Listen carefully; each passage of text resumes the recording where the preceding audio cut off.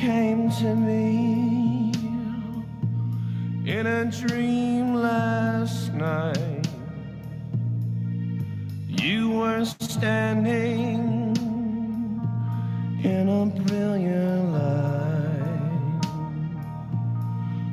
One minute here, but the next you were gone. Thought you could stay, but I was so wrong. The end is here, the game is over. No more pretending,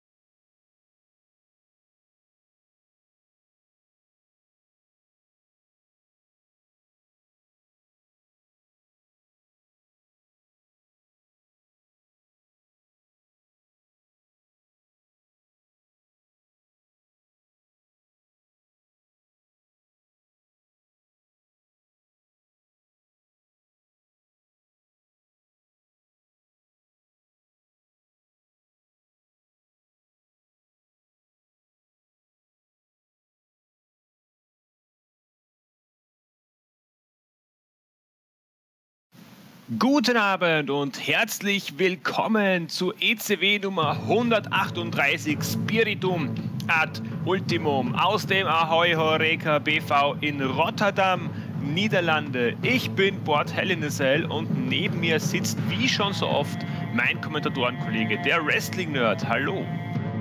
Auch von mir einen schönen guten Abend an das gesamte Saw Universe. Ja, und was haben wir heute für ein, ja, für eine Show für euch parat? Wir sehen wieder einmal einige NXTler, diesmal gegen ja, normale Mitglieder des XW-Rosters. Mal gucken, wie sie sich da so beweisen können. Wir sehen ein Extreme Rules Match zwischen Nick Nick Nola und Venom und im großen Main Event noch ein Steel Cage Match zwischen Ali Binway und Magnus Gustafsson. Das verspricht ein großartiger Abend zu werden. Auf jeden Fall, wie du schon sagst, die NXT Rookies dürfen sich hier ihre ersten Sporen verdienen gegen mehr oder weniger gestandene ECW-Wrestler, beziehungsweise zumindest Wrestler, die bei ECW unter Vertrag stehen und nicht NXT-Rookies sind. Wobei der Gegner von Atem ja mal ein NXT-Rookie war. Der wurde dann lang nicht mehr gesehen und jetzt ist er wieder da. Äh, sein Name kommt aus dem Indonesischen und heißt so viel wie Verlierer. Und er ist der Zero in 21 and 1. Er ist Pekundang. Ja, ich habe ihn natürlich nicht miterlebt. Ich habe seine kurze äh, Rückkehr vor einigen Wochen war das, glaube ich, äh, ja, mitbekommen. Bin jetzt mal gespannt, wie er sich in diesem Match hier demonstriert, was er uns alles zeigen wird und ob er eventuell doch einen Sieg einfahren kann. Auf seinem Leibel steht zumindest Eat, Sleep, Conquer, Repeat. Die Frage ist, ob er der Conqueror ist oder der geconquerte Pekudang, wird sich hier gegen Atem ja, versuchen natürlich gleich mal zu beweisen. Aber dass der gefährlich im Ring sein kann, das hat der schon beim NXT-Turnier gewiesen, äh, gewiesen, bewiesen.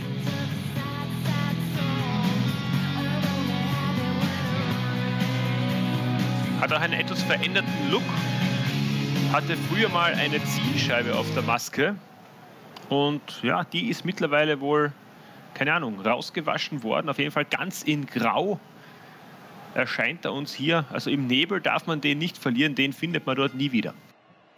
Ja, das stimmt allerdings. Allerdings muss man das Gleiche auch bei der Farbkombination von Atem höchstens die goldenen Armstulpen. Wow, der legt ja mal direkt los hier mit einer wunderschönen Springboard Moonsault. Ich wollte gerade sagen, lediglich die, die goldenen Armstulpen äh, klicksern da vermutlich genug, dass man ihn erkennen könnte. Der Rest ist ja auch nicht so wirklich farbenfroh.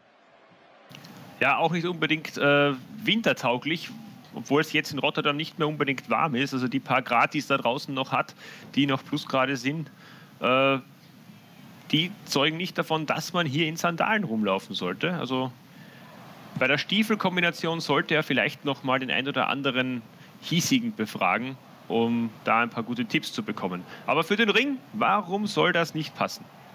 Ja, ach, der ist die Kälte gewohnt. Äh, in der Wüste weiß man, da ist es tagsüber heiß, nachts über arschkalt. Von daher ist er das gewohnt. Das macht ihm wahrscheinlich überhaupt nichts aus. Du hast, du hast, gerade das böse Wort im, im Fernsehen, im Internet gesagt. Welches? Kalt. Was? Ja, du sagst das arschkalt und das ist doch kalt und das ist das böse Wort. Ach. Und ja, okay. Mein Fehler. Belly to oh, Belly Double Underhook Suplex ja. hier von Atem.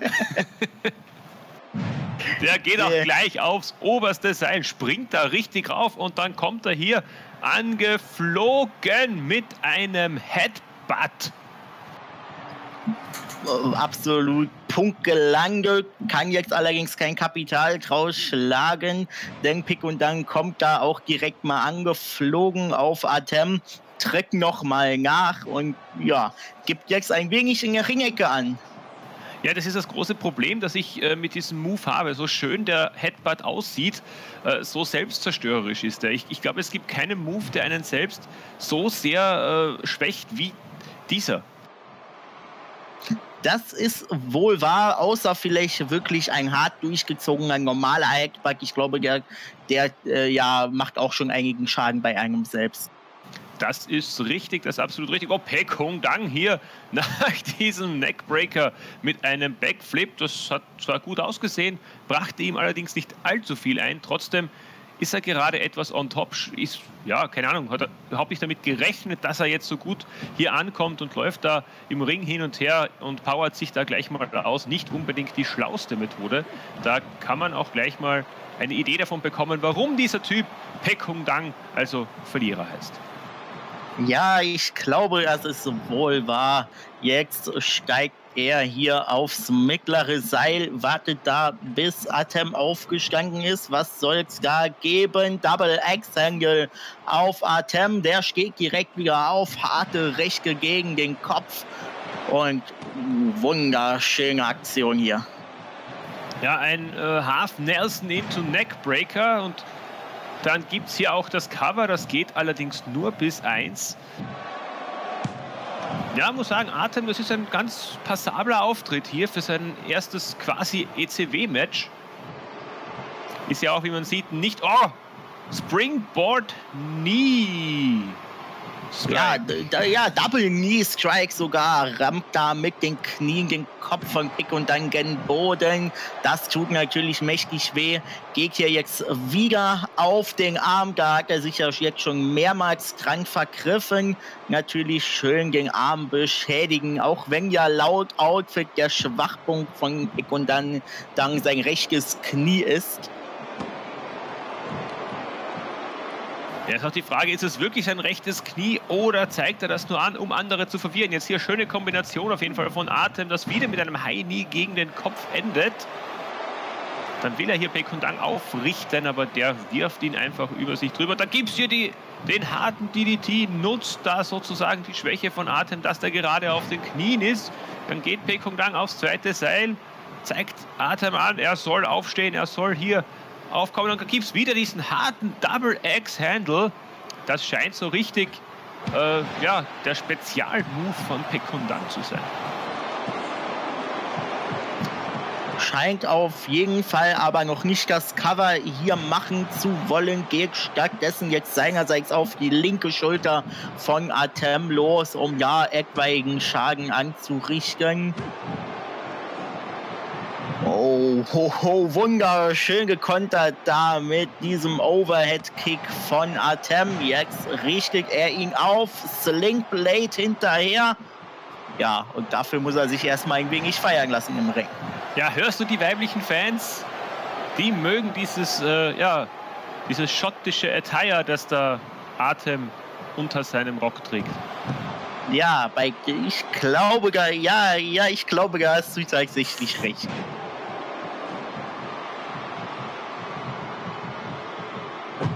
Ja, aber Pekong Dang, ich muss auch sagen, dafür, dass er sich als Verlierer da betitelt, hält er schon ganz gut mit hier auch mit Atem.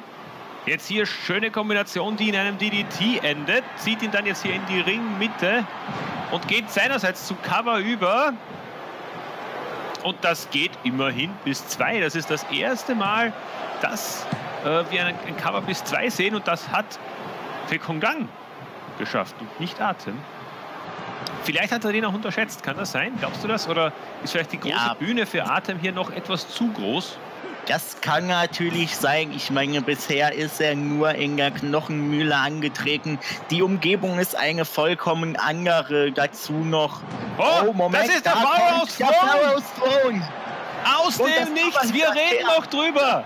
Ein Aber. Pick und dann kommt raus. Unglaublich. Oh, das war aber wirklich allerhöchste Eisenbahn. Um ein Haar wäre das Match vorbei gewesen. Suplex Einsatz von Atem wird allerdings seinerseits ausgekontert in einen Suplex-Cover hinterher. Und auch das geht nur bis zwei. Da redet man drüber, ob nicht äh, Atem zu beeindruckt ist von der großen Kulisse und zwei Sekunden später haut er den Pfarrer aus Throne raus.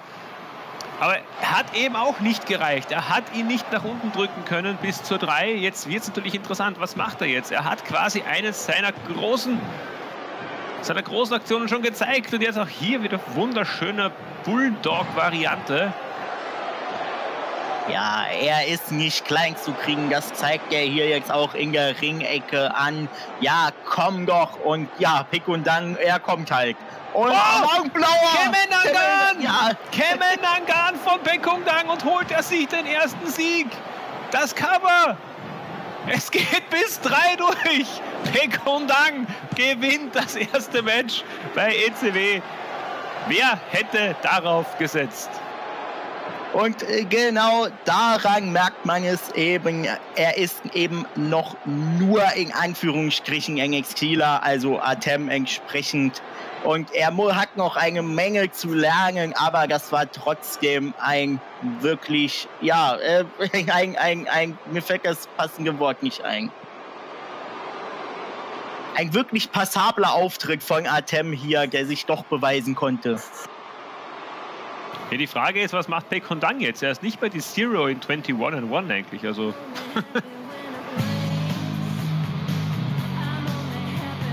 haben wir da den Start einer Siegesserie gesehen vielleicht? Ja, wir werden es sehen. Jetzt ist äh, die One in 21 and One.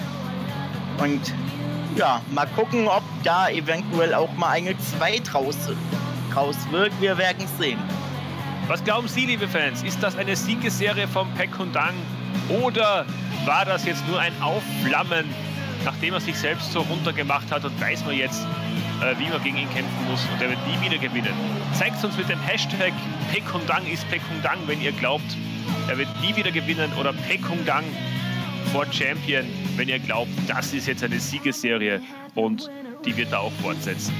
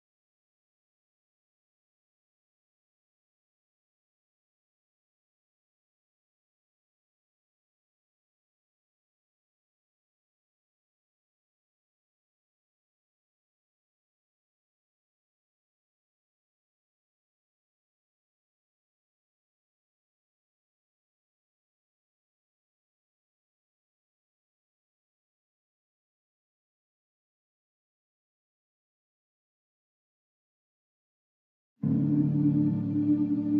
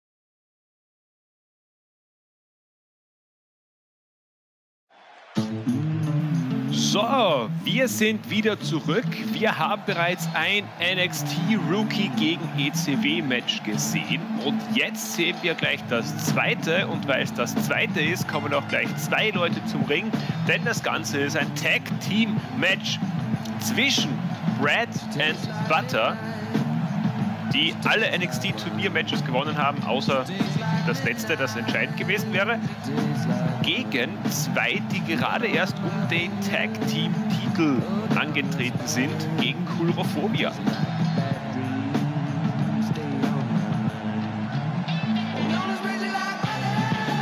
Wie schätzt du die Chancen dieser beiden Rookies ein gegen ein dermaßen gestandenes Team?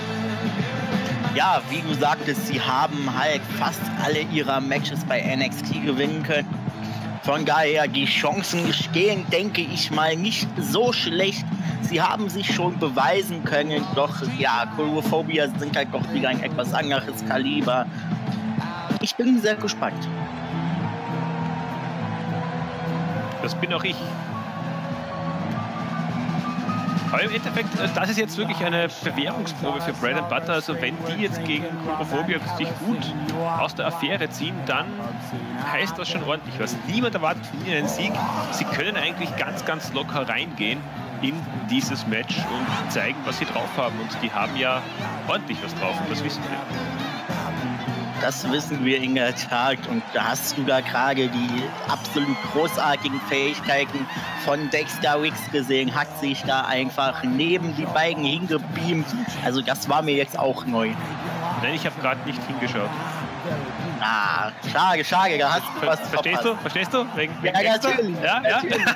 ah! Mensch, du bist ja heute gut gelaunt, aber kann man verstehen, es ist ECW, wer wäre gar nicht gut gelaunt? Absolut richtig. Und vor allem, wir haben ja schon so viel Großartiges gesehen. Wir haben schon Jackpot gesehen und äh, Siko Serkis, auch wenn Jackpot nur über den F-Tron gezeigt wurde.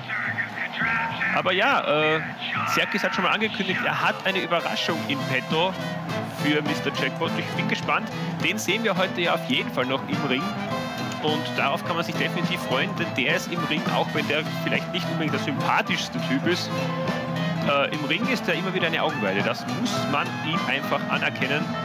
Hat ja auch bei der Elimination Chamber bewiesen, als er von Anfang an der Erste im Ring war und ganz am Schluss immer noch der Letzte war, der gestanden ist, wie er heute schon erwähnt hat. Ja, er war von Anfang an der Erste und war dann auch der Letzte. Also von daher, er muss ja irgendwas richtig machen, sonst wäre das nicht der Fall gewesen. Ja, und wir haben schon die, die Sorcerer Supreme gesehen. Und ja, da haben wir auch gesehen, dass plötzlich der Titel, der Interdimensional Galactic Weight Titel, plötzlich zu ja, blinken, zu funkeln anfing und dann von der einen Sekunde auf die andere plötzlich weg war. Ganz merkwürdige Sache. Da bin ich echt mal gespannt, was da noch auf uns zukommt. Ja, ich habe das Problem bei den Sorcerer Supreme, dass ich eigentlich nie wirklich verstehe, was da passiert. Äh, die sind so dermaßen abgespaced, äh, da komme ich überhaupt nicht mit. Und was da jetzt mit dem Titel war, da habe ich mich gefreut, dass man endlich den Titel wieder mal sieht. Ich habe schon fast vergessen, dass Merlin Montgomery den hat. Und ja, dann ist er jetzt plötzlich wieder weg. Also ich hoffe mal, den sehen wir wieder, aber ja, vielleicht sehen wir bald eine Jagd von Merlin darauf oder keine Ahnung, aber auf jeden Fall, dem muss er nachgehen. Das sehe ich so, das siehst du so und das sehen andere auch so, die Uso trinken. Ähm, ja, so in die Richtung. Auf jeden Fall hat ihr McQuebec mal wieder mit äh, etwas in Richtung Chris Connor gefeuert. Ähm, ich bin immer gespannt, ob es da eine Reaktion drauf gibt. Und während ich noch rede, gibt es hier einen wunderbaren Double-Team-Move von Creepo und Sleazy. Ja, jetzt auch von Sleazy das Cover hinterher. Das geht ja knapp bis zwei. Man sieht hier Martin Quack und Steve Butter, sie haben Probleme in diesem Match. Ja, wie, wie wir sagten, Phobia sind eben komplett ein komplett anderes Kaliber, als es die NXT Tag Teams waren. Da hat man doch so seine Probleme mit, wenn man nicht auf deren Level äh, arbeitet. Von daher, ich bin mal gespannt, ob sie sich da noch reinarbeiten können. Ja, vielleicht hätten sie weniger Puddingteilchen nehmen, äh, essen sollen im Vorhinein, vor allem äh, Martin Brad. Äh, und mm, hätten das eventuell. Ja. Was? Schöne Kraftaktion da, macht noch ein paar Kniebeugen mit Sleazy auf, seinem, auf seinen Schultern. Also der hat wirklich Kraft, der Mann. Absolut richtig. Ich wollte gerade sagen, vielleicht hätten sie den, den Clowns ja Puddingteilchen anbieten sollen. Das hat ja bisher immer ganz gut funktioniert. Ja, das stimmt allerdings. Das war wahrscheinlich so ein kleiner Strategiefehler der beiden. Äh, ja, das lernt man eben fürs nächste Mal. Man hat es an Atem gesehen, es kann nicht immer alles so wunderbar funktionieren, wie man, wie man es sich vorstellt. Das ist richtig. Manchmal kommt man bei ECW aus der Puste. Und ist komplett außer Atem. Absolut richtig. Ah. Aber jetzt hier schöner Falcon Arrow hier von Martin Brad. Ja, also die haben jetzt zumindest schon mal ein, zwei gute Aktionen gezeigt. Bread and Butter und ja, vielleicht haben sie das große Glück, dass die Clowns sie etwas unterschätzen, denn immerhin sind das ja nur NXT-Rookies. Aber auch die können kämpfen, das haben sie ja schon des Öfteren bewiesen. Jetzt hier Cover nach diesem Neckbreaker, das geht bis zwei. Ja, also sie können doch schon etwas zeigen. Sie finden jetzt deutlich besser ins Match. Oh, Ensuigiri hier von Sleazy. Soll da noch was nachfolgen? Wahrscheinlich schon, aber Martin Quack kann kontern. Äh, Uppercut noch hinterher. Ja, Martin Brad, ich, ich traue es mich kaum zu sagen, aber der hat hier gerade die Kontrolle über Sleazy. Und jetzt Jetzt gibt es hier das ganz große Puddingteilchen für Sleazy. Da, da wird, schön, da wird schön der Teig geknetet und in Form gebracht. Und am Schluss nochmal ein extra Anstoß, wie es sich gehört. Und fertig ist der Teig fürs Puddingteilchen.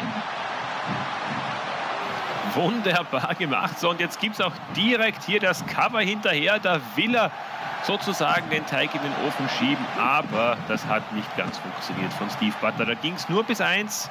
Dann tritt er hier daneben, Sleazy kann ausweichen und der attackiert hier ja schon beinahe beide. Dann gibt es ja eine wunderbare Hurricane Runner und ja, da zeigt er gleich, das war eine tolle Aktion von mir und jetzt rede ich kurz noch mit Dexter, sage ihm, er soll ausweichen, geh aufs oberste Seil, warte bis Brad als Steve Butter sich umgedreht hat und macht dann eine Aktion, die der Kommentator gerade nicht gesehen hat. Was war das verdammt nochmal? Ich habe absolut keine Ahnung, wie man, wie man es nennen könnte. Äh, ja, jetzt bei den Clowns. Creepo, der Aktive im Ring, wird da aber von Steve Butter erstmal zu Boden befördert. Tag-In nun auch bei Bread and Butter. Nun wieder Martin Brett im Ring, musste aber erstmal was einstecken von Creepo. Ja, jetzt sind die beiden Schwergewichte der Tag-Teams im Ring und es ist aber interessant, wie man trotzdem sagen muss, äh, Martin Brett ist ja schon eine ungeheure Erscheinung. Der ist ja ein großer Typ, der ist schwer, der ist muskulös und dann hat man hier einen Creepo, der sich einfach mal daneben hinstellt und gegen Martin Brett immer noch wie ein Schrank wirkt. Also auch mit dieser Powerbomb zeigt er das gleich nochmal, was er eigentlich wirklich für eine Kraft in sich hat. Der Pantomime. Und äh, ja, absolut. Und noch einmal ein Dankeschön an Saw Universe. Natürlich ein Mexican Arm Track war das von Sleazy gewesen. Wie konnten wir das nur vergessen? Ja, ich habe es nicht gesehen, weil Dexter im Weg war. Ja, okay, das lasse ich mal so gelten. Martin Greg mit einigen Tritten. Da konnte Creepo gerade ausweichen, stellt ihm da jetzt das Bein und der fliegt mit dem Gesicht voran zu Boden. Doch Creepo kann seinerseits wieder ausweichen und mit Sleazy eintaggen. Übrigens auch interessant, wie Dexter auch aufgrund dessen, wie genau die Matte knallt, weiß, ob das jetzt was Gutes oder Schlechtes war für sein Team. Das ist eine, eine Fähigkeit, die kommt halt durch das Blindsein. Das, das bemerkt man einfach irgendwann. Ich glaube, da sollte es einen Submission-Ansatz geben, den konnte Creepo aber direkt im Keim ersticken.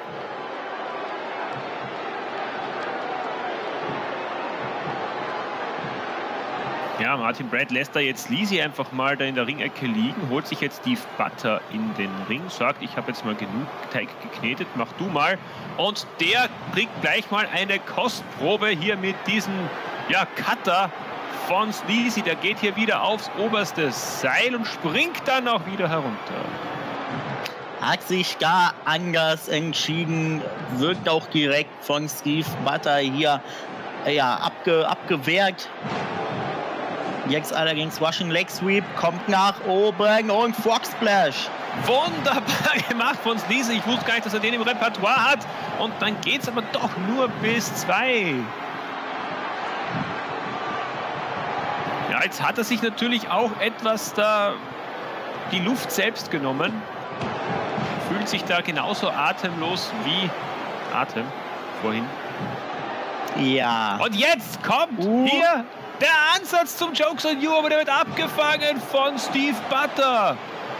Oh, das war ein Big Move jetzt. Das hätte es beenden können. Man merkt, der hat sich über seinen Gegner informiert, wusste gar direkt, was er machen sollte, muss gar jedoch wieder diesen harten Move einstecken. Na jetzt äh, kein Schoolboy-Pin, sondern nur ein Schoolboy und dann noch der Kick gegen die Schläfe. Da ist Steve Butter jetzt mal außer Gefecht. Da gibt es den Pin. Und das war ganz, ganz, ganz, ganz knapp. Also wenn Martin Brad da nicht so geistesgegenwärtig reagiert, dann haben wir hier einen Pinfall. Er muss uns aber auch mal dazwischen rein sagen, mal ein kurzes Fazit geben. Brad und Butter, die halten sich gut. Die halten sich hier richtig gut. Jetzt ist Lisi mit einer Hurricane Runner und wie viele Umdrehungen er da gemacht hat. Unfassbar. Jetzt geht's für Steve Butter wieder in die Ringecke ihrer Gegner.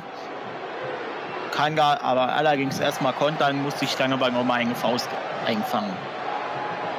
Ja, Steve Butter hat sich wirklich gut vorbereitet auf seine Gegner. Der scheint immer wieder mal zu wissen, was für ein Move kommen könnte. Jetzt diesen Snap mehr hat er nicht kommen sehen, so wie auch nicht diesen Tritt hier, der, den Sleazy dann nochmal nachsetzt. Und jetzt ist er Creeper ausgeliefert. Jetzt muss er ums Überleben kämpfen, dieser Steve Butter. Versucht das auch, gibt jetzt hier einen Knee-Strike und meiner Meinung nach muss er nach draußen, aber er will nicht. Er setzt nochmal nach. Er setzt nach, rennt hier Creepo um. Wie hat er denn das gemacht? So eine Kraft muss man da erstmal haben, solch ein Koloss einfach so ohne Mühe wirklich umzurennen. Oh, Choke Slam Ansatz von Creepo und der geht durch. Ja, das ist eben das Problem. Da macht man einen Creepo wütend und dann läuft man in einen Chokeslam und dann hat man auch das Cover, aber das ist zu nah. Martin Brad kann wieder eingreifen. Haben jetzt doch wieder ihre Probleme hier, Brett and.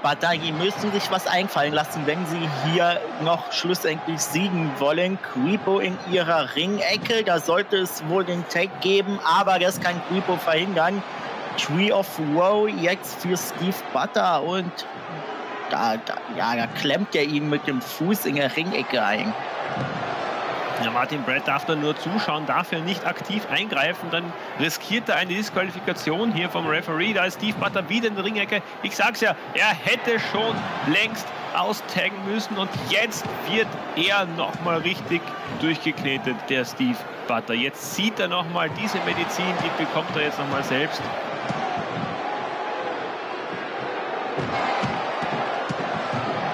Und der Dropkick am Schluss nochmal hinterher von Sleazy, der sich jetzt für diese Aktion eben nochmal gebührend rächen konnte. Das Cover hinterher.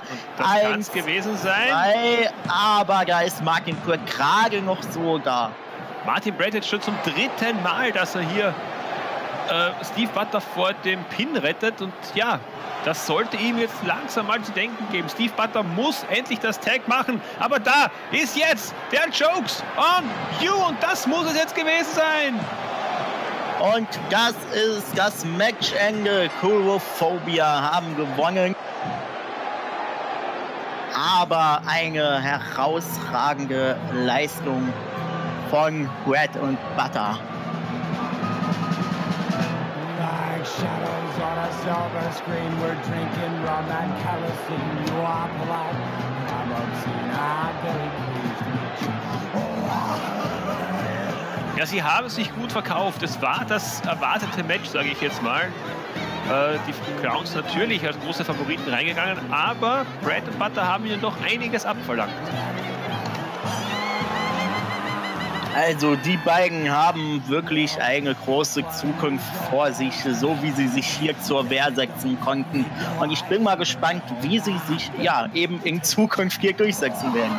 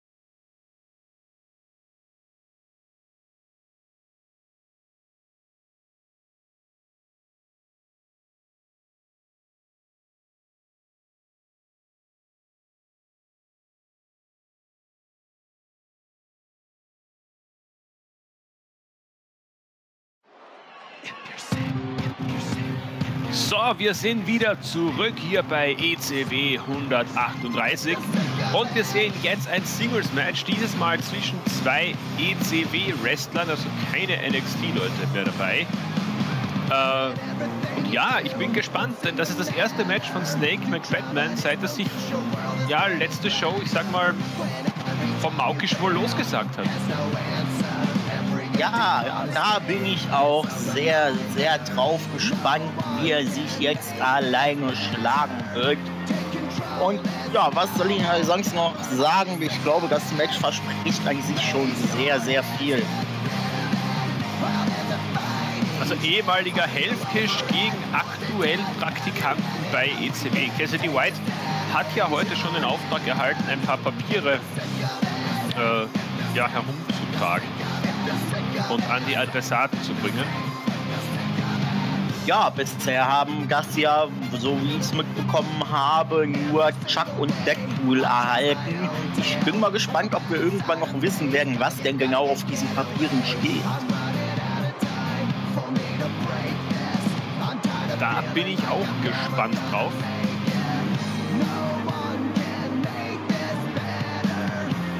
Äh, interessant ist, äh,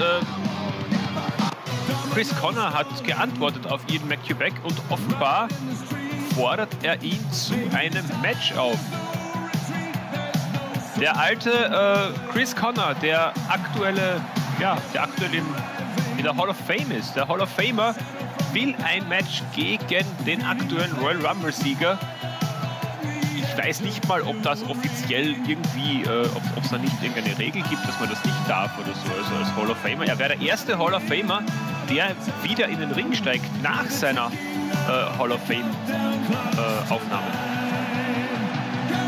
Das ist eine sehr gute Frage. Da kenne ich mich natürlich auch nicht gut genug mit den Regeln von Saw aus. Aber ja, ich denke, da, da wird schon irgendeine Möglichkeit wird da schon machbar sein, denke ich.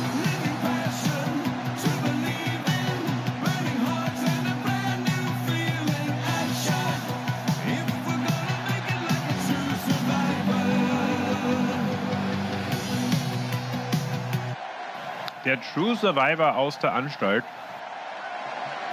der zurückkam und seinen ehemaligen Mentor mit dem Button-Mashing auf die Matte legte.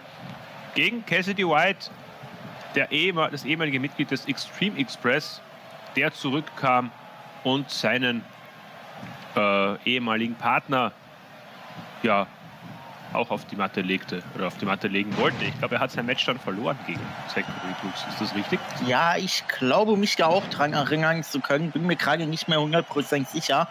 Aber ja, er versucht es jetzt wenigstens mal auf eine andere Weise als Helfer allein der GMs und von daher bin ich mal, mal gespannt, ob er da sich vielleicht irgendwie was erarbeiten kann damit.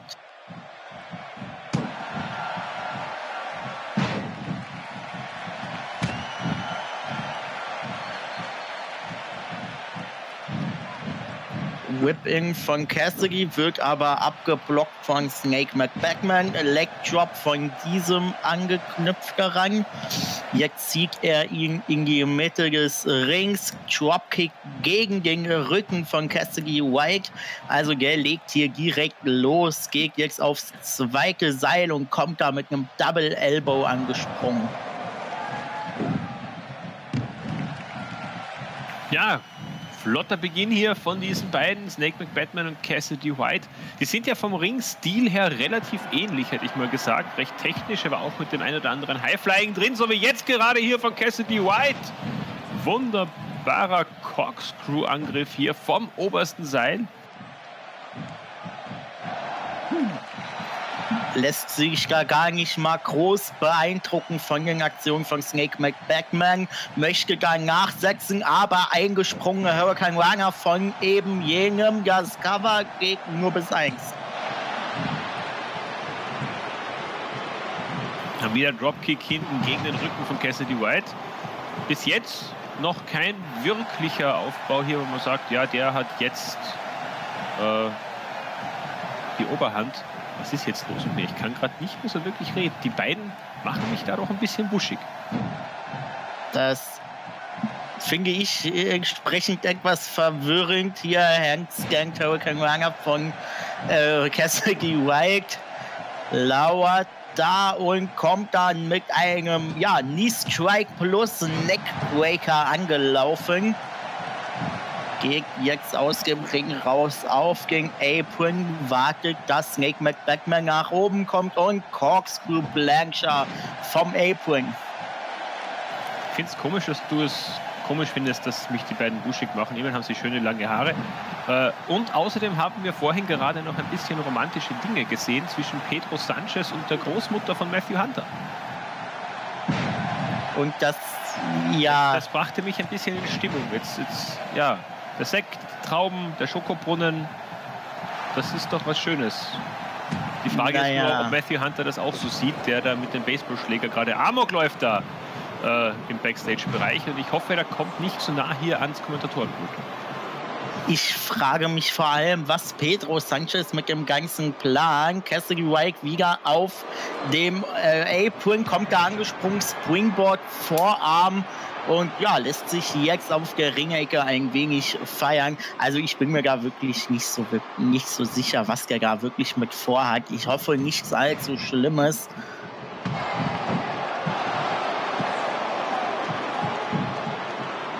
Aber Cassidy White, der scheint jetzt hier schon Langblower von Cassidy White. Dann nimmt er hier Anlauf und dann kommt er hier mit einem Dropkick gegen den Kopf von Snake McBatman an und dann gibt es noch das Cover hinterher. Aber das geht nur bis zwei. Legt da jetzt ordentlich nach. Das hätte tatsächlich schon das Matchende sein können nach diesem Langblauer. Snake McBatman mit einem Konter lässt Was macht er denn da? Snake, um Gottes Willen. Keep your head in the game, Alter. Das ist doch Wahnsinn. Da macht er eine gute Aktion, dann dreht er sich im Kreis vor lauter Freude. Ja, und muss entsprechend auch direkt mal die Strafe dafür zahlen. Also von daher hier Springboard Assisted Bulldog jetzt von Snake McBackman lässt sich diesmal hoffentlich nicht direkt für diese Aktion feiern, dafür aber das Cover hinterher und das geht nur bis eins. Der macht er jetzt viel, viel besser, der Snake McBatman. Ja, jetzt, ja, ärgert dich doch nicht, jetzt mach doch einfach weiter, um Gottes Willen, Snake. Ja, die, der Aufenthalt im Irrenhaus äh, in dieser Anstalt hat ihn offenbar doch etwas verwirrt. Dann kommt er hier mit dem Springboard Elbow Drop an. Das war wieder eine gute Aktion. Wobei ich mich frage, True Survivor in einer Anstalt, ist das jetzt was Gutes oder was Schlechtes? Ja, Überleben an sich ist einmal nichts Schlechtes. Oh, und da kommt der Belly to Belly und das Cover hinterher. Eins, zwei. Es geht nur bis zwei. Ja, und das kann er gerade nicht fassen. Aber, aber, Snake ist jetzt gerade ein bisschen on fire und ich glaube, Cassidy White hat Probleme. Da ist es Button Mashing. Button Mashing. Cover hinterher.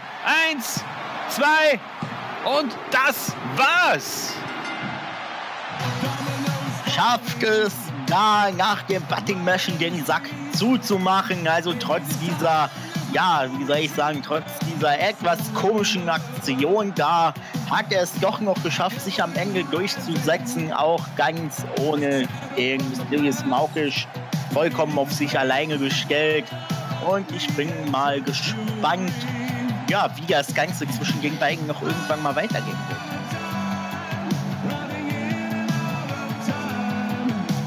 Jetzt sollte man auf jeden Fall dranbleiben, denn das nächste Match ist ein Extreme Rules Match zwischen Nick Nick Nola und Venom. Nola wollte dieses Match, auch wenn er gemeint hat, Venom kann ihm nicht helfen. Das kann niemand außer er. niemand weiß, wer er ist. Keine Ahnung, was da noch passiert wird, aber das sollte man sich auf jeden Fall ansehen. Direkt nach einer kurzen Werbeunterbrechung.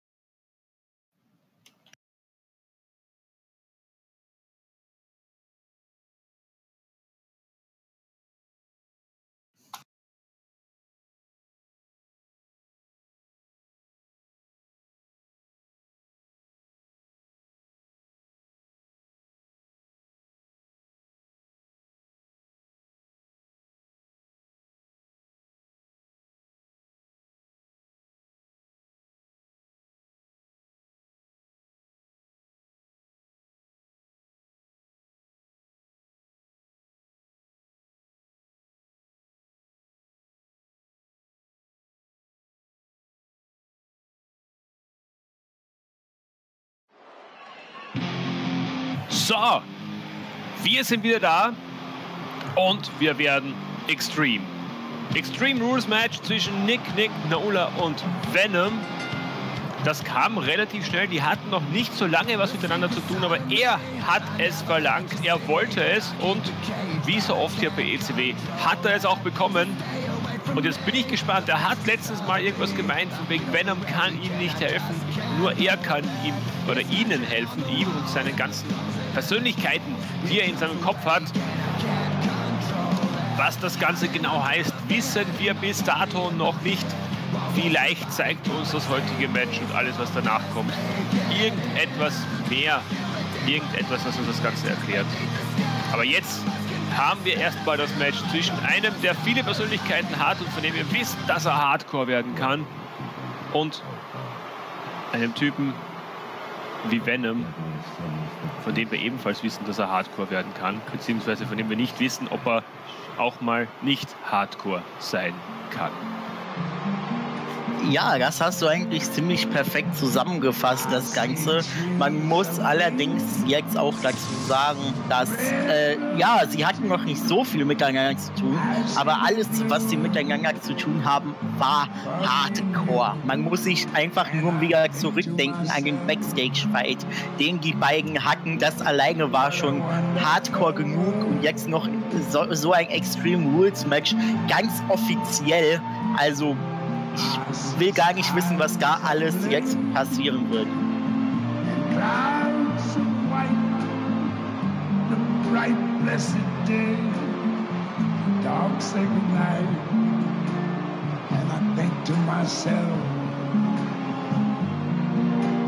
What a wonderful world.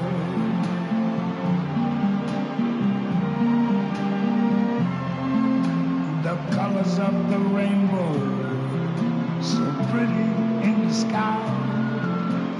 are also on the faces of people going by.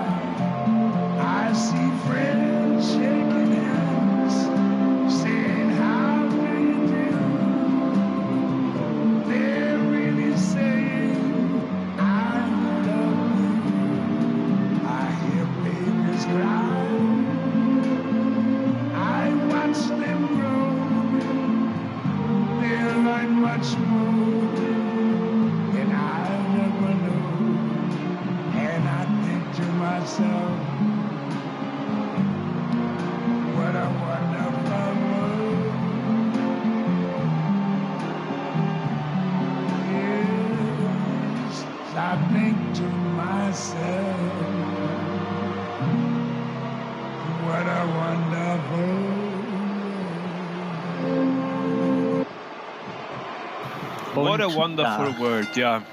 Venom, ich traue mich da auch nie wirklich was zu sagen, wenn der reinkommt. Ich habe immer Angst, dass der mich hört und dann plötzlich nicht mehr Richtung Ring steuert. Man weiß bei dem ja nie. Ich meine, der Typ hat äh, Lian Kane aufgehängt. Ja, was will man da jetzt eigentlich noch sagen? Da hast du vollkommen recht. Also, und Moment mal, nein, nein, nein. War das Lian nicht, Kane? es war nicht Liam Kame, es Das war, Liam Kane. es war, glaube ich, Tigran. Stimmt, er hat Tigran aufgehängt. Aber er ist auch verantwortlich dafür, dass Liam Kane nicht mehr da ist. Richtig, richtig. Also insoweit stimmt es, stimmt es zumindest sechs zur Hälfte. Also es ist jedes Mal eine wirklich skurrile Atmosphäre, wenn da ein Monster wie Venom zu What a Wonderful World in den Ring kommt. Also das, ja, da kann man einfach nichts mehr dazu sagen. Es wird in diesem Match hier direkt schon extrem Baseballschläger von Nick Nick Nolak. Der geht direkt gegen den Kopf von Venom, aber das macht dem überhaupt nichts auf. Der steht auf, krallt sich den Baseballschläger. Unfassbar, diese, dieser Venom. Ja, und dann nimmt sich Nick Nick Nola gleich wieder zurück und dann streiten sie sich kurz drum und dann fliegt Nick Nick Nola auch schon gegen die Ringtreppe. Und ja, wir sind hier schon viel, viel mehr Hardcore, als wir viele andere äh, Hardcore-Matches schon gesehen haben bei ECW. Die beiden, ich sage, die stehen einfach dafür. Das, das sind zwei Typen, die können, glaube ich, gar nicht wirklich anders. Da fliegt jetzt auch zum Beispiel Nick Nick Nola nach einem Back Body Drop gegen die äh, Ringabsperrung. Auch Venom muss mit der Bekanntschaft machen. Wird da nochmal mit dem Kopf dagegen gehämmert. Jetzt hier, äh, was war es, ein, ein Fallaway, irgendwie Belly-to-Belly-Suplex hier von Venom. Ja, auf jeden Fall, das ist nicht große In-Ring-Action. Was man aber dazu sagen muss zu dem Ganzen, es ist zwar Extreme Rules, aber es ist nicht Force Count Anywhere. Das heißt, man muss schon im Ring äh, das Match zu Ende bringen. Es gibt keine Countouts, es, es gibt eigentlich nicht viele Möglichkeiten. Oh, was ist dieser Venom an? Der wirft ihn da einfach mit zwei Suplessen mal auf den Boden und dann kommt noch ein German Suplex hinterher. Äh, Nick Nick Nola jetzt schon in großen Schwierigkeiten. Und ja, was, was soll ich sagen, um mal in, in deiner Sprache zu bleiben, die wir heute schon erlebt haben. Natürlich ist es nicht viel In-Ring-Action. Wir sind ja aktuell nicht im Ring. Ich verstehe nicht, ob das jetzt lustig gewesen sein soll oder. Das denke ich mir bei deinem auch immer, aber ist ja auch egal.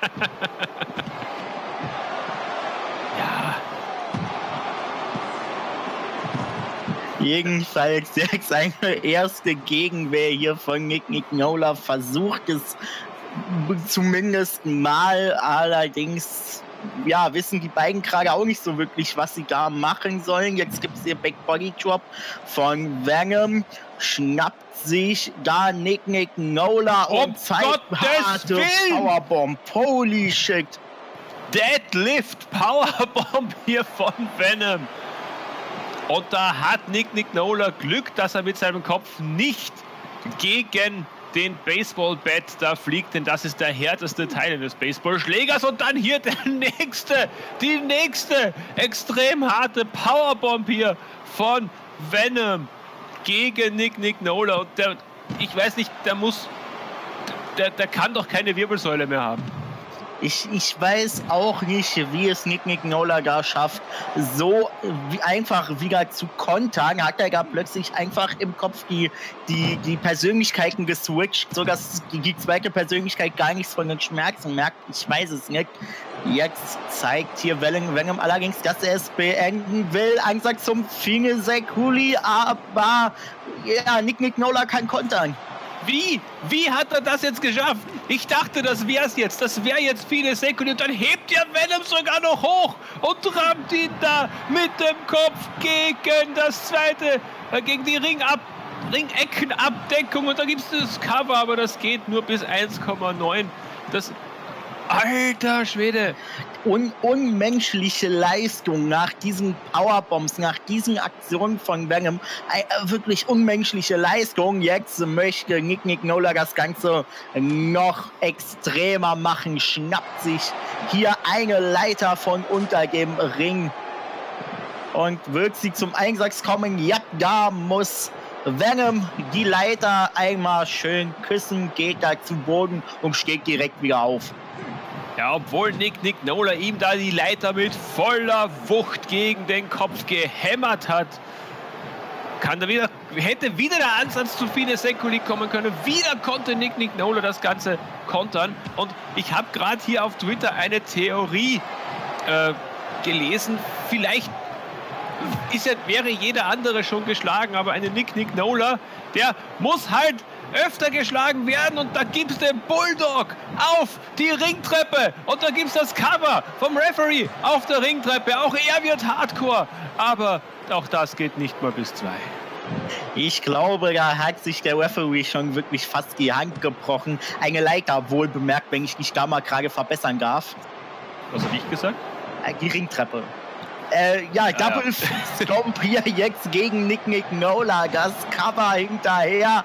Eins, zwei und Nick Nick Nola kommt raus und der Referee bricht sich schon wieder fast die Hand. Wie viele Nick Nick Nolas muss Venom hier töten, um diesen Körper des Nick Nick Nola tatsächlich unten zu halten? Jetzt nimmt er ihn hier hoch. Der Liv, ich vergesse immer wieder, wie er, wie er, wie er heißt. Gut Ranch Suplex, uns mein Lieblingssuplex. Kann ich verstehen und dennoch vergesse ich immer wieder den Namen davon.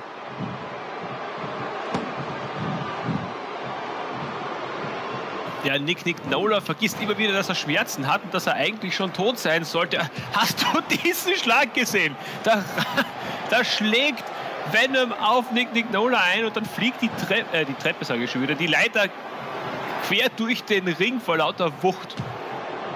Ja, und Sechsgang, äh, Sechsgang noch mal mit einer harten Linken hinterher.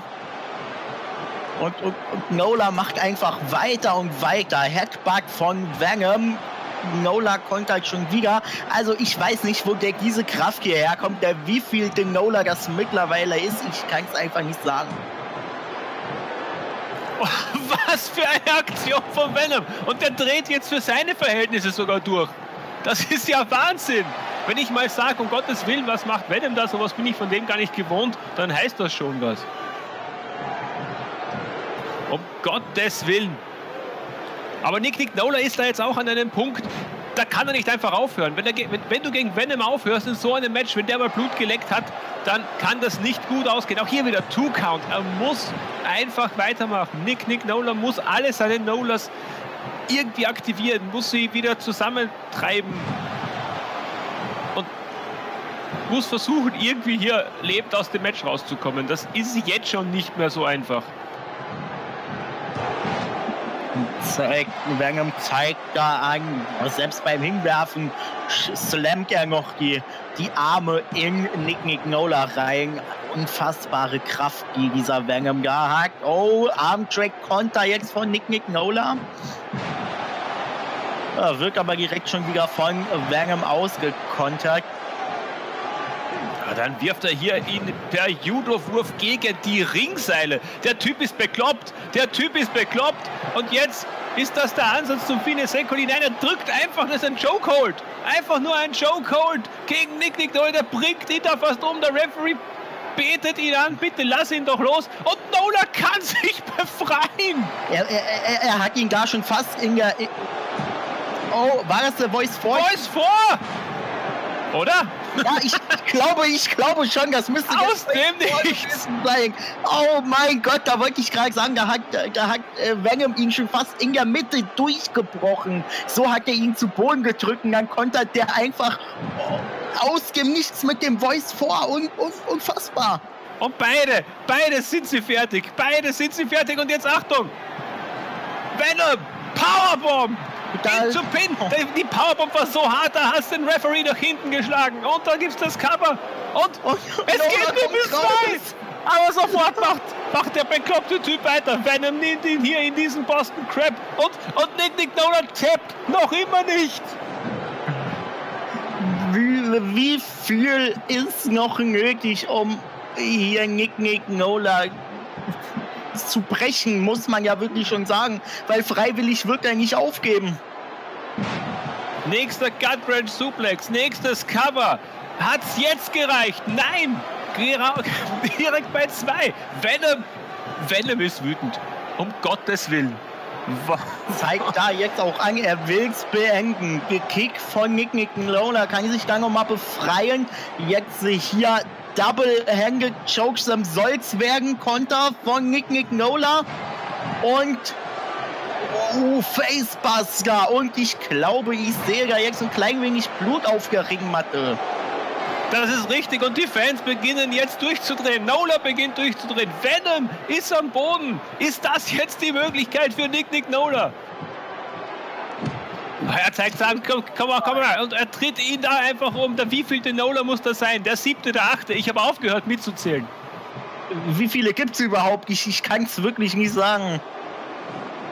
Das weiß wahrscheinlich nicht mal Nola selbst. Wieder geht's hier gegen den Rücken und dann sofort das Cover hinterher. Drückt ihm dann nochmal ins Gesicht.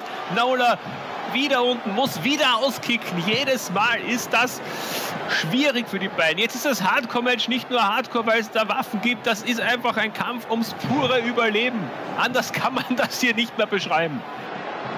Da rächt sich Nola mit einem, mit Judowurf selber nochmal jetzt hier wieder, wieder geansagt zu einer Powerbomb von und auch die geht wieder durch und da fliegt die Leiter aus dem Ring, als, als Venom da Nick Nick Nola äh, weggestoßen hat. So eine Kraft hat dieser Mann. Und der steht trotzdem wieder auf, wirft trotzdem Venom wieder über die Schulter. Und dann nimmt er ihn hier in Was ist das? Uranagi. auf jeden Fall ein Slam, ein wirklich harter Slam hier auf die Ringmatte. Ich glaube, wir sind beide einfach schon, wir, wir sind beide noch. Oh, oh, was, ja, was, was, was, macht, was, was macht er denn jetzt? Hacked Bart gegen Nick Nick Nola. Jetzt hat sich auch bei dem hier eine Platzwunde geöffnet. Alter, aber jetzt mal wirklich, also so wie, so wie der Venom da jetzt auf, auf, auf Nola draufgestiegen ist, da ist es mir jetzt echt kalt den Rücken runtergelaufen. Ich hatte wirklich, es hatte den Anschein, als wolle er ihn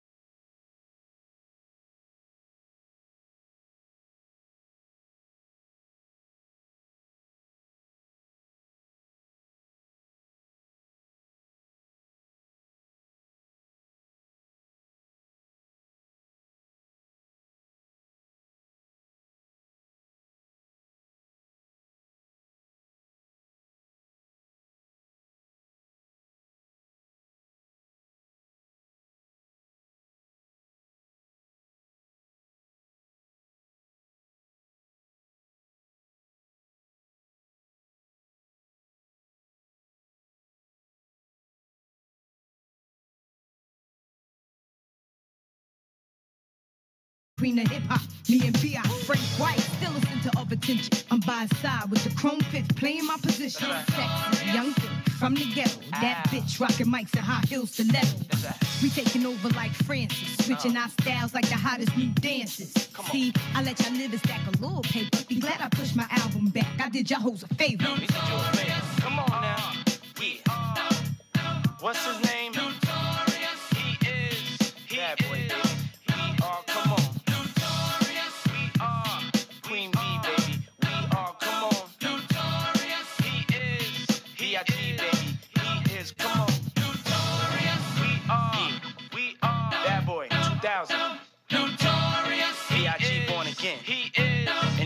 stop.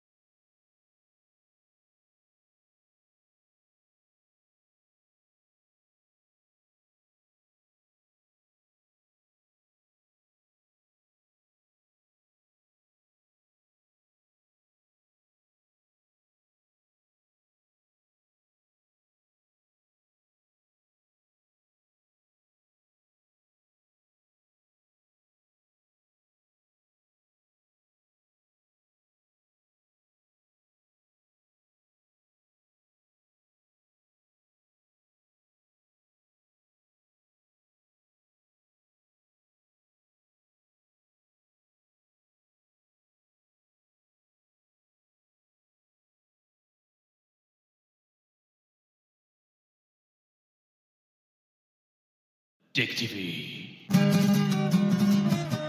So, nach diesem Wahnsinns-Hardcore-Match haben wir jetzt ein Tag-Team-Match zwischen Dick TV und den aktuellen Tag-Team-Champions, den Redeemers.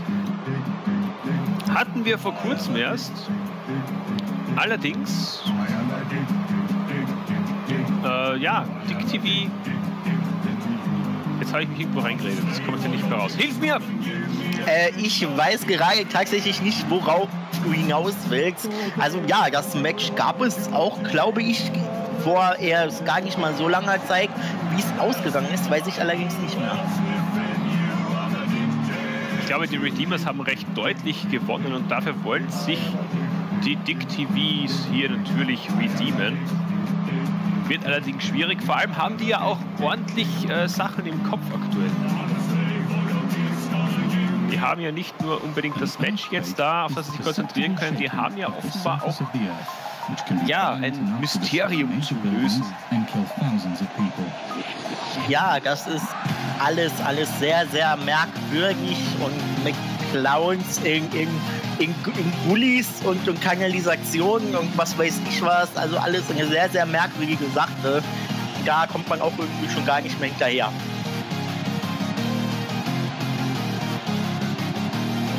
Ganz im Gegensatz zu diesen beiden, die ja sonst keine Probleme haben. Moment, da war ja was. Ja, ich wollte gerade sagen, so ganz problemfrei ist es bei den beiden auch nicht. Wir haben die Innate Ideas gesehen, wie sie Afron ein, ja, ein Video gezeigt haben von JT Hammer bei einem ja, Videodreh oder einem, einem Filmset von entsprechenden Filmchen. Also, ja, äh, das hat dem nicht so gefallen. Trotzdem sind sie hier jetzt zusammen und werden natürlich trotzdem ihr Bestes geben, um nicht gegen Dick TV irgendeinen Upset, eine Upset-Niederlage zu bekommen. Sie sind ja unheimlich dominante Champions, muss man auch mal so sagen. Äh, sind eigentlich schon sehr, sehr lange in Titelmatches unbesiegt und haben, glaube ich, so ziemlich jeden, außer eben die Innate Ideas, tatsächlich schon äh, überstanden quasi. Also da muss jetzt dann von NXT fast schon was nachkommen, äh, wenn die Innate Ideas jetzt auch scheitern sollten. Beziehungsweise da ist zwar kein Titelmatch festgesetzt, aber dadurch, dass sie so viel miteinander zu tun haben. Und ich glaube, die Ideas sind auch die einzigen, die wirklich aktuell in das Schema passen würden, um die überhaupt herauszufordern. Das glaube ich allerdings auch.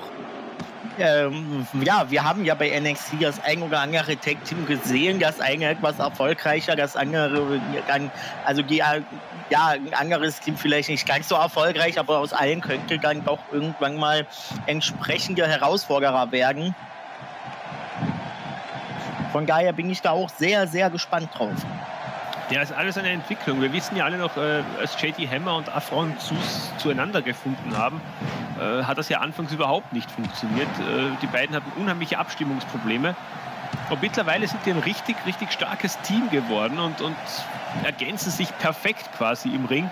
Und dadurch ist es natürlich unheimlich schwer geworden, diese beiden, die ja auch einzeln nicht unbedingt schwach sind. Ich glaube, ein, ein, ein Afron könnte auch locker äh, ah, was ist denn da jetzt passiert?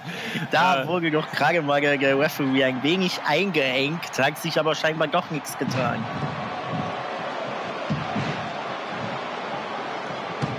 Ja, Gott sei Dank. So, Afron hier mit einem, was ist es? Mit einem Deadlift Gut Wrench Suplex. Für heute weiß ich es, in den nächsten Wochen vermutlich schon wieder nicht mehr, aber was soll's. Einfach aufschreiben, einfach aufschreiben. Also, jetzt muss ich mal eines sagen, so erstes Fazit nach den ersten Minuten. Äh, Dick TV hat, glaube ich, auch noch keine wirkliche Aktion gezeigt haben große, große Startschwierigkeiten hier in diesem Match.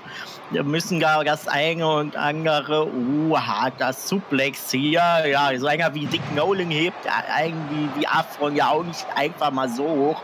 Da ist doch ein, ein großer Kraftaufwand nötig. Jetzt haben wir hier Dick Anderson im Ring, muss aber direkt Whipping einstecken, kann er aber mit einem Fireman's Carry, äh, ja, kontern. Ja, wir sehen auch außerhalb des Rings, äh, Nolan, der hat diese eine Aktion jetzt gegen Afron gezeigt und musste sofort nach draußen, ist auch fertig gewesen. Äh, da hat er sich richtig, richtig angestrengt. Jetzt Anderson mit einer ähnlichen Aktion geht auch nach draußen, aber der sagt sich, hey, ich gehe mal aufs oberste Seil. Wenn ich im Ring unten ihn nicht besiegen kann, dann muss ich mal von der Luft kommen und dann kommt er hier mit einem Missile Dropkick angerauscht.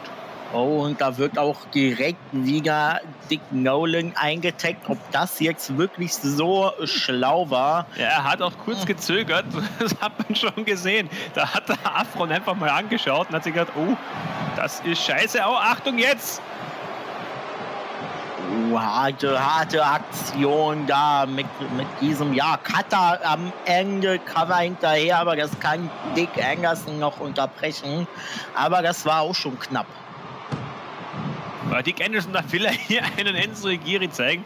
Aber das funktioniert nicht ganz. Aber trotzdem kann man diesen Camel Clutch hier nicht ansetzen. Da hat JT Hammer einfach nicht aufgepasst. Muss man jetzt auch sagen. Dick Nolan, was macht der jetzt?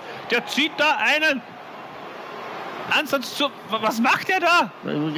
Package, also Was ich kann nicht mal beschreiben. Was zur Hölle war das bitte für ein Move? Ansatz zur Powerbomb und dann macht er draus eine Powerbomb Suplex? Keine Ahnung. Ja, Package, Power, Package Piledriver, Suplex, irgendwie sowas kann man das Ganze wohl nennen. Jetzt allerdings nach dieser Aktion dann doch die Dicks mal mit etwas Gegenoffensive. Moonsault von Dick Anderson, aber JT Hammer kann ausweichen.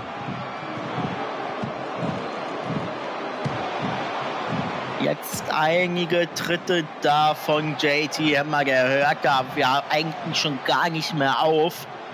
Und jetzt gibt es dann doch dann mal gegen Take-In hier zu Afron.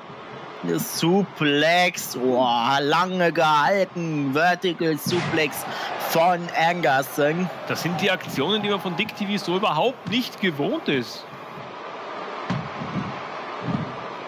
Das stimmt allerdings. Ich hätte jetzt auch vor allem, ja, wie ich gesagt habe, jemanden wie Afron muss man erstmal hochkriegen. Jetzt hier hart durchgezogener DDT wiederum von Dick Anderson. Nimmt sich da Afron wieder hoch, der kontert aber mit einem Uppercut. Jetzt schnappt er sich da Anderson, hebt ihn hoch. Und der kann aber noch mal ausweichen. Ja, kontert das sozusagen, wirft Afron jetzt übers oberste Seil und wirft ihn nach draußen. Also das ist mal ein Teilerfolg für die Dicks.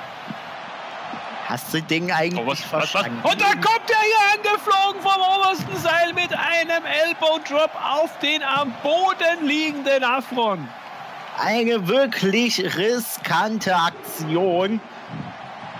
Aber sie hat gefruchtet. Afron am Boden wird jetzt wieder von Anderson hier aufgehoben.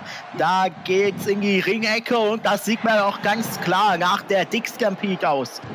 Die Dicks in your face gegen Afron, aber Irgendwie, ja, macht da Dick Nolan wohl nicht so ganz mit. Warum auch immer.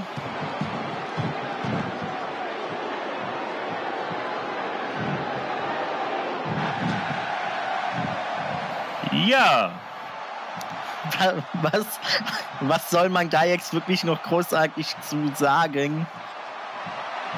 Afron liegt jetzt in der Ringmitte. Nolan und Anderson stehen draußen.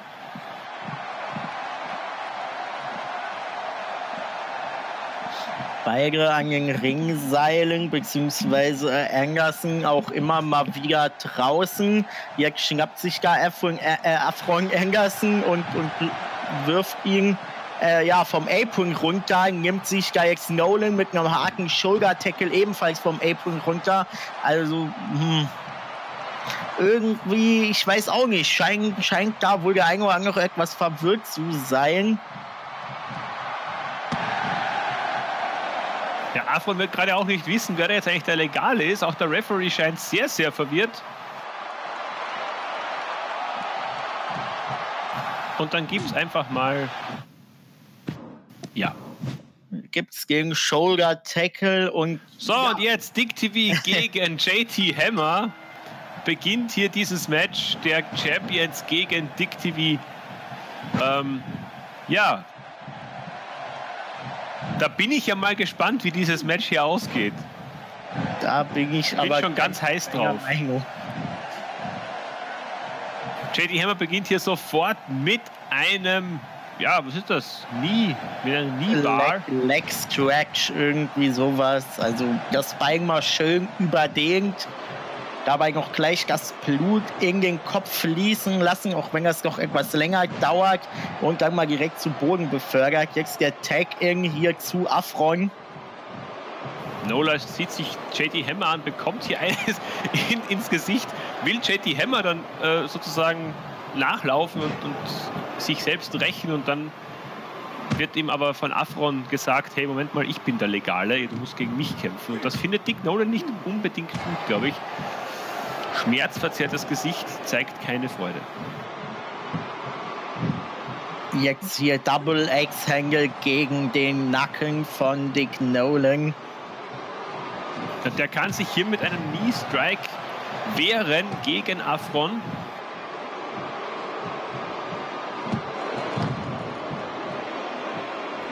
Geht da jetzt ein bisschen um Afron rum, geht auf die Ringecke bei JT Hammer. War das so schlau? Oh, Phoenix Splash! Phoenix Splash vom zweiten Seil. Da, da, da, da wollte JT Hammer noch nach ihm schlagen, aber da ist äh, ja Nolan doch schon früher äh, knapp noch vorher gesprungen, ihm ausgewichen und oh, harte Larry hier jetzt gegen Dick Anderson, der eingetaggt wurde.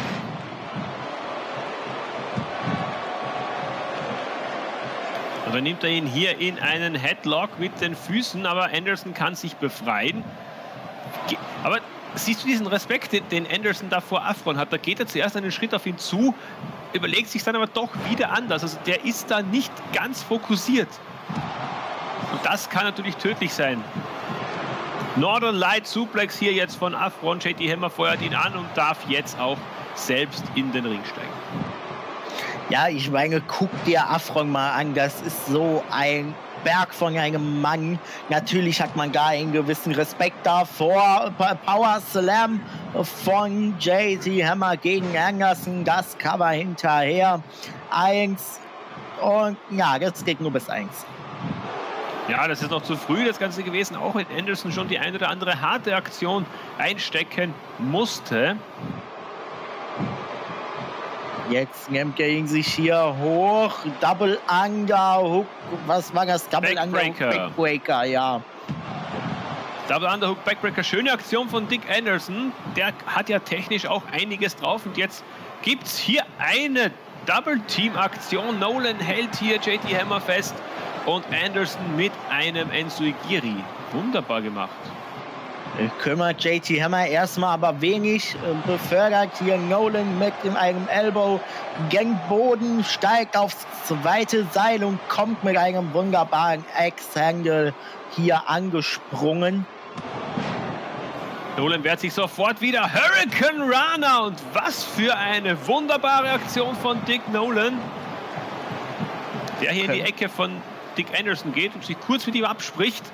Aber das war auch schon wieder zu lange. Die müssen da gegen die Champions, müssen sie viel, viel schneller agieren, müssen da ein- eingespielter wirken. Jetzt geht's hier in die Ringecke und jetzt gibt eine Double-Team-Aktion, wie es aussieht. Snapmare und Tritt von Nolan. Das war jetzt mal wieder schön. Genau so muss das laufen gegen Champions, um die zu überraschen. Das Cover hinterher, eins, zwei, aber da kommt JT Hammer noch raus. Ja, aber es ist eine erste Message. Es ist eine erste Message und da sieht man auch sofort, JT Hammer äh, bemerkt das sofort. Also wird sofort aggressiver, gibt sofort das Suplex hinterher, Ansatz hier zu einer Powerbomb, aber die wird gekontert von Dick Anderson in einen Armdrag. Das war wunderbar gemacht. Da gibt's die Hände, die flachen Hände auf, das, au- auf die Ohren von JT Hammer und eine Sunset Flip Powerbomb mit Cover hinterher hier von Dick Anderson. Eins, zwei, aber auch das reicht noch nicht zum Sieg. Ja, aber sie sind jetzt im Match drin, Dick TV. Also ich glaube vor allem, wenn sie JT Hammer irgendwie isolieren könnten von Afron, dann haben sie eine reelle Chance. Nicht, dass JT Hammer jetzt das, das schwächere Glied der beiden wäre. Nein, um Gottes Willen. Aber dieser Afron, der braucht halt nur, keine Ahnung, zwei Aktionen, um dich quasi in eine Nahtoderfahrung zu schicken. Jetzt hier Dick TV mit der Dick Stampede. Und da gibt es immer mehr Tritte und Tritte und Tritte. Und der Dropkick am Schluss nochmal hinterher. Cover von Dick Nolan jetzt gegen JT Hammer 1 und der kommt dabei Der 1 kommt raus. bei 1 raus. JT Hammer. Und da schaut es an. Afron ist da. Und dann gibt es hier diese Power-Aktion von ihm. Und schon liegt Nolan am Rücken. Und das ist jetzt die Chance für JT Hammer, wieder oben auf zu sein. Ein Spinebuster hier von Afron und, und, und, und Dick Nolan liegt auf dem Boden, kommt trotzdem noch mal vor JT Hammer wieder hoch, kann mit Dick Anderson eintaggen und jetzt geht's für JT Hammer in die Ringecke. Und jetzt gibt es fast Double-Team-Aktionen. Ja, JT Hammer, da muss er sich gegen Nolan wehren, dann kommt Anderson direkt wieder hinterher. Und nimmt ihn da in einen Sleeper Sleeper. Hold. Sleeper Hold von Dick Anderson. Und JT Hammer hat Probleme. Er ist in Troubles. JT Hammer hat Probleme. Nolan weigert sich aber nach draußen zu gehen. Die diskutieren darum. Hat JT Hammer schon getappt? Keiner sieht's. Und dann wird Afron in die Ringecke gestoßen und Hammer kann sich befreien. Dafür jetzt hier das Cover von JT Hammer gegen Dick Anderson. Das geht bis 1, dann kommt Anderson raus, während hier Afron. Oh Gott, was passiert hier gerade? Und dann attackiert Nolan äh, JT Hammer. Afron ist auch drin. Der Referee hat keine Ahnung mehr, was hier abgeht. Dann tritt Nolan auch noch auf JT Hammer ein. Der ist komplett verrückt. Jetzt, jetzt geht er erst nach draußen. Jetzt ist das Ganze wieder geordnet. Das war ja gerade richtiges Chaos. Northern Light Suplex hier. Kann das Cover hinten dran, kann aber dann auch noch von Afron abgewehrt werden. Jetzt gibt es hier einige Tritte gegen den Kopf von JT Hammer. Und DT, der ebenfalls wieder hart gegen den Kopf geht. Ein schönes Bild, wie die sich da nebeneinander liegen. Und dann gibt es ja das Cover nur mit einer Hand. Da Und das geht durch! Das Dick TV besiegen die Champions! Da schaffte es Dick Nolan Afron lange genug äh, äh, abzulenken, damit hier Dick Anderson das Cover durchziehen kann. Absoluter Upset, mit dem hätte niemand gerechnet hier und heute. Sind, ja, sie, sie, sie sind nach einem guten, sehr guten Match gegen die Nate Ideas, haben sie etwas den Kürzeren gezogen, sind nicht Number One Contender geworden. Aber nach diesem Sieg hier ist ihnen, finde ich, ein, ein zukünftiges Titelmatch irgendwann mal absolut gewiss. Ja, fragt sich nur, ob es dann gegen entsprechend die Redeemers geht oder doch gegen die Nate Ideas. Interessant war, sie haben es geschafft, JT Hammer von Afron zu isolieren. Der konnte seitdem keinen Tag mehr machen und die haben ihn wirklich zu zweit attackiert. Das ging teilweise schon in Handicap.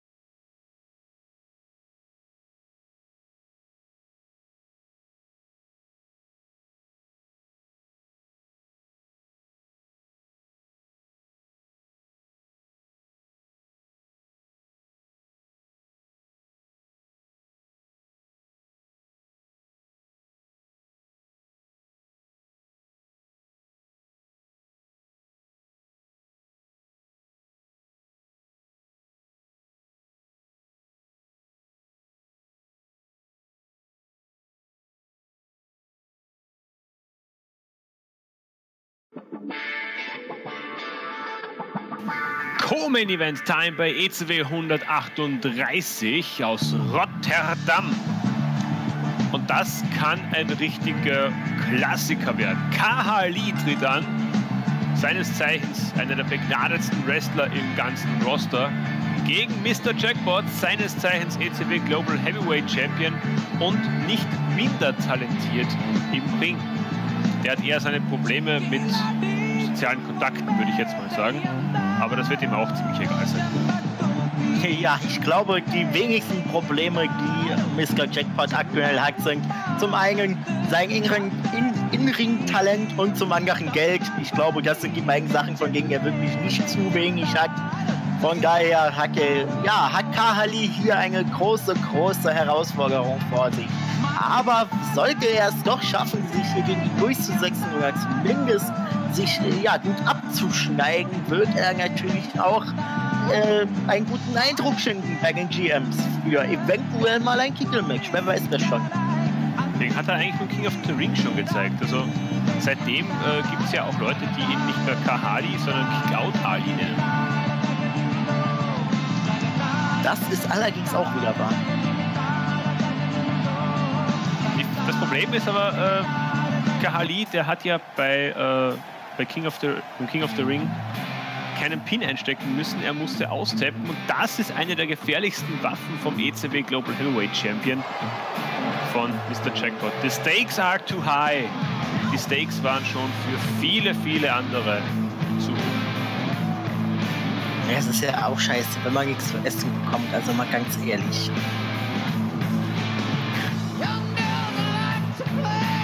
Ach ja.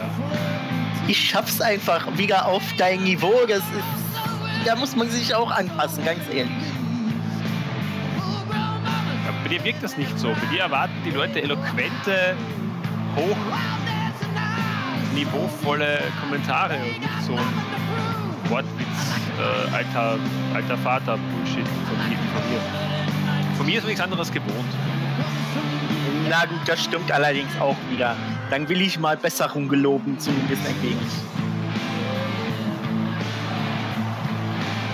Ja, ähm, Probleme könnte heute noch äh, Pedro Sanchez bekommen oder auch Matthew Hunter. Äh, die beiden. Ja, ich sag mal so, Pedro Sanchez hat da, glaube ich, den richtigen Knopf gedrückt bei Matthew Hunter. Der war jetzt in eine Schlägerei mit den Securities verwickelt und das ist, sehen ja auch die GMs nicht unbedingt gerne, wenn da die Securities äh, die Wrestler zurückhalten müssen, weil die mit Baseballschlägern auf sie, zu, auf sie losgehen. Welche Gründe das auch immer haben mag.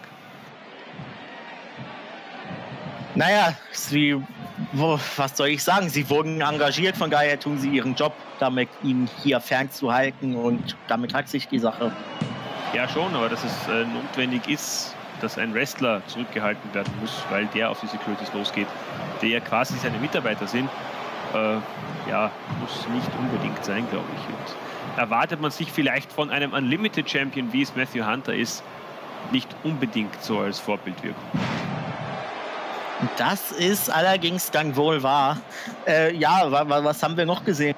Wir haben gesehen, wohin Snake Mac Batman eben so ganz plötzlich einfach verschwunden ist. Er wurde vom Mysterious Maukisch in eine Zelle gesperrt mit einer ziemlich krassen, ja, wie soll ich sagen, Foltermethode fast schon, würde ich das nennen. Ja, hat schon was. Äh, ich bin echt gespannt, wie das da in die Richtung weitergeht.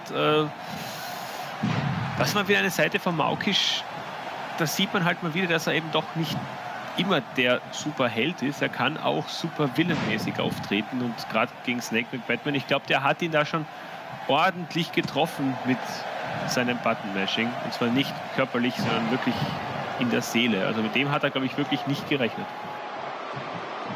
Das stimmt allerdings. Ja, und was haben wir noch gesehen? Wir haben tatsächlich gesehen, wa was die Zettel von äh, äh, Cassidy White dann eigentlich waren. Denn das waren Einladungen, oder was heißt Einladungen? Es waren Mitteilungen, dass der entsprechende Wrestler beim Money in the Bank Ladder Match teilnehmen darf.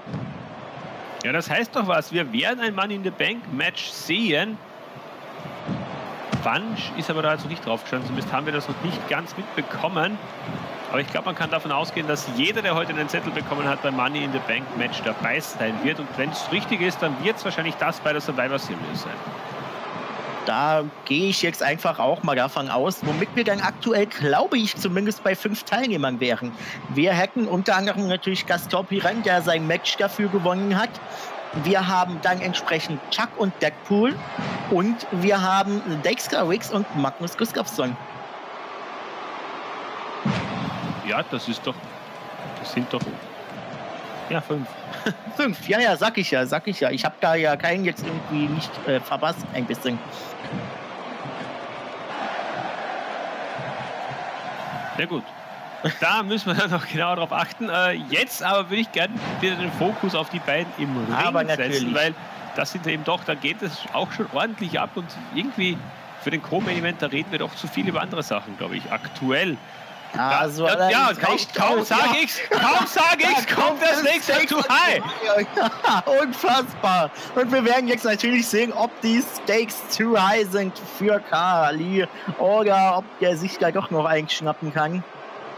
Er geht auf jeden Fall in Richtung Ringseile und er kann hingreifen. Und er kommt aus dem The Stakes are too high tatsächlich heraus. Und ich muss sagen, ich bin gerade sehr, sehr froh, dass er das geschafft hat, denn das wäre jetzt keine gute Kommentatorenleistung gewesen. Das ist allerdings wahr. Sechsger gegen Neckbreaker weiter, dann geht's nach draußen, wieder nach Drängen, da verfolgen die sich ein bisschen. Und jetzt ist allerdings auch wieder Mr. Jackpot hier am Drücker.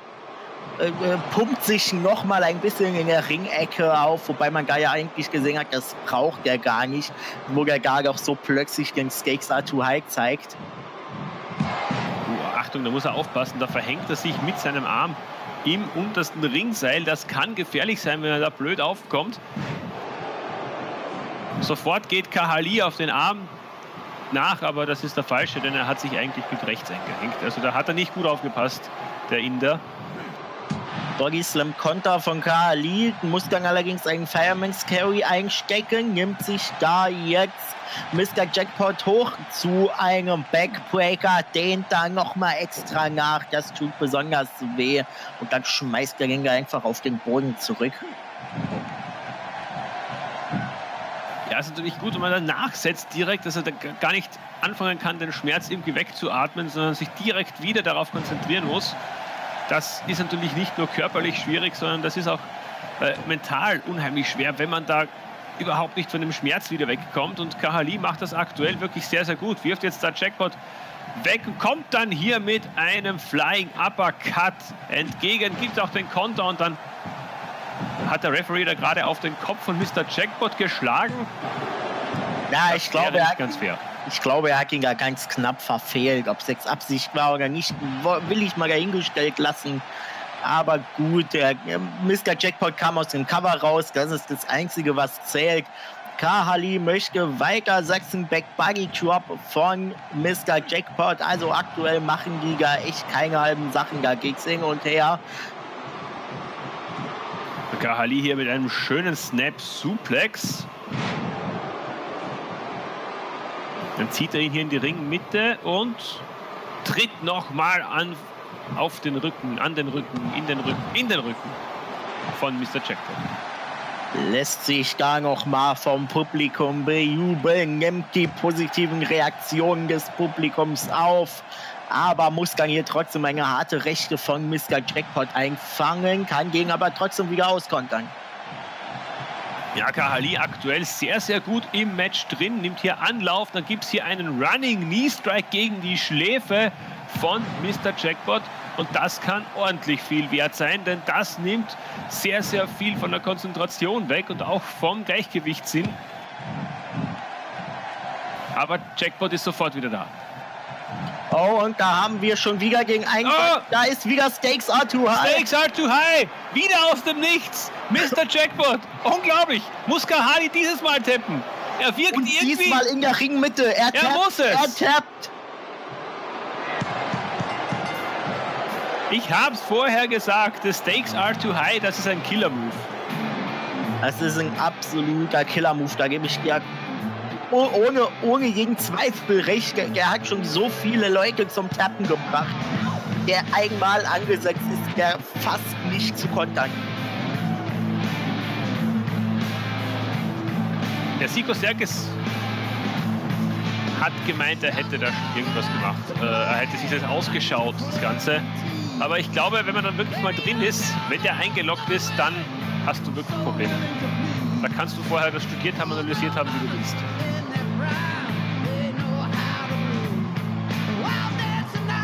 Und so sehen wir hier einen triumphierenden Champion und ja, ein Match haben wir noch. Ganz besonderes, ein Steel Cage Match zwischen Ali Binway und Magnus Gustafsson. Und das sehen wir nach einer ganz kurzen Unterbrechung.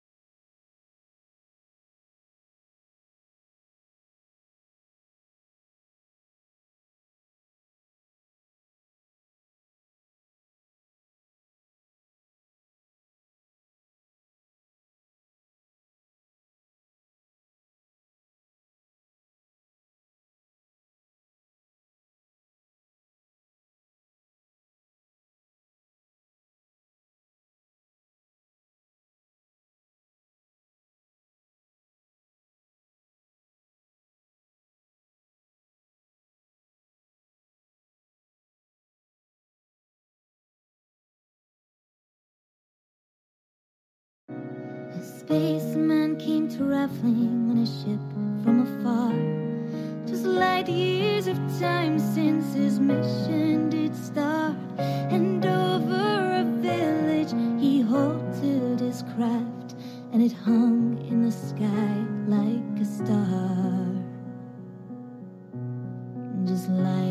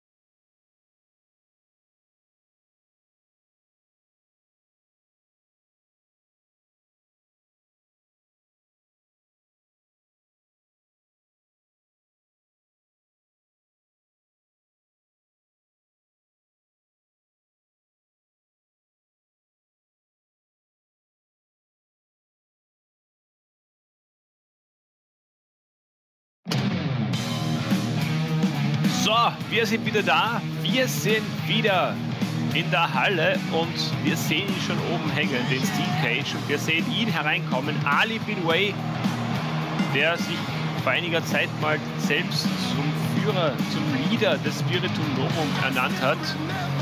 Und mittlerweile gibt es den Spiritum Novum. Auf jeden Fall nicht mehr so wirklich. Ähm, Magnus es ja noch gesagt vor dem Match, er wird heute noch ein letztes Mal im Namen des Spiritum Novum antreten, um seine, ja, ich nenne es mal gefallenen Kameraden zu rächen, die er als, ja, als Opfer von Ali Bin Wei ansieht. Die Frage ist, wie viel stimmt dahinter und wie viel ist das einfach nur Frust von Magnus, dass es dann doch nicht geklappt hat mit seinen großen Sprüngen? Das ist natürlich die andere Sache, ganz klar. Es gibt immer zwei Seiten der Medaille. Wir kennen nur äh, ja, die Aussage von Magnus Gustafsson.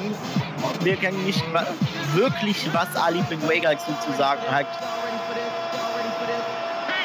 Auf jeden Fall soll das Ganze äh, hier jetzt beendet werden. Und ja, das werden wir jetzt hoffentlich dann auch sehen. Und ich erwarte hier ein sehr, sehr hartes Match von den beiden. sehen wir mal, wir wissen ja, das Steel Cage Match kann nicht nur gewonnen werden durch Pinfall oder Submission, sondern auch dadurch, dass man, äh, dass man einfach nur den Käfig verlässt, entweder durch die Tür oder durch äh, drüber klettern. Und Ali Bin Wade, da bin ich gespannt, inwieweit der sich wirklich auf einen Kampf mit Markus Gustafsson einlassen möchte. Er beginnt auf jeden Fall mal aggressiv. Das, ja, man sieht es, er hat wohl scheinbar auch Bock auf dieses Match. Er möchte da auch diese, ja, ich, mir fehlen gerade irgendwie die Worte, ich weiß auch nicht warum. Jetzt geht es mir so wie dir am Anfang von der Show. Ja, so schließt sich der dramaturgische Kreis, das ist doch schön. Und das ausgerechnet zum Main Event. Ja, das kann ja was werden. Hier jetzt äh, Back Slam von Ali Bin Wei. Einige Jobs hinterher, aber da kann Magnus doch noch kontern. Dann will er hier auf meinen Backbreaker zeigen und Ali Bin Wei dreht sich da einfach drüber und dann setzt er selbst einen Suplex an. tritt da jetzt weiter auf Magnus Gustafsson ein. Elbow Drop noch hinterher. Jetzt geht's aufs zweite Seil und Rolling Senton, aber Magnus kann ausweichen. Im richtigen Moment weggerollt der Schwede. Muss Ali Benoit ja. ist, ist, hat doch äh, meiner Meinung nach hier die Kontrolle, hat das Heft in der Hand, spielt hier natürlich seine Erfahrung aus. Äh, Magnus Gustafsson ja zu ECW gekommen über NXT, die letzte Staffel, die Nanook gewonnen hat, der sich gerade mit Max Power anlegt. Ali Benoit ja schon länger dabei und der ist natürlich mit allen ECW-Wassern schon gewaschen. Das ist allerdings wahr.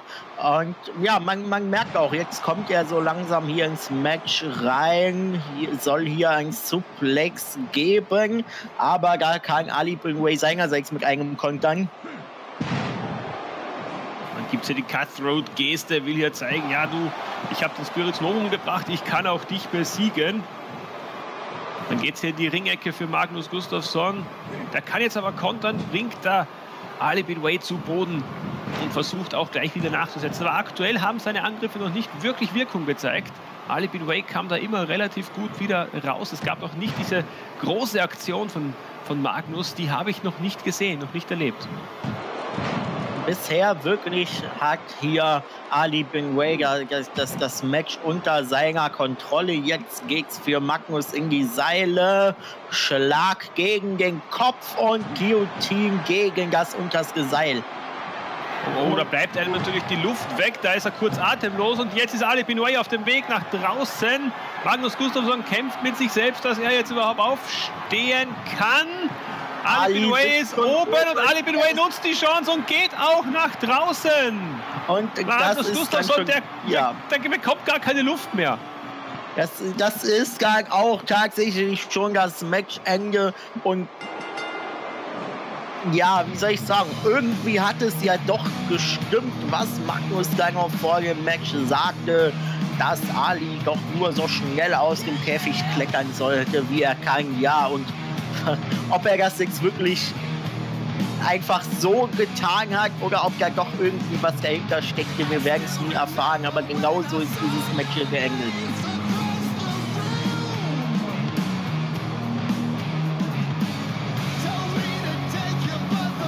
Und damit sind wir am Ende von ECW 138 und ich und Borgi verabschieden uns. Noch einen schönen Abend.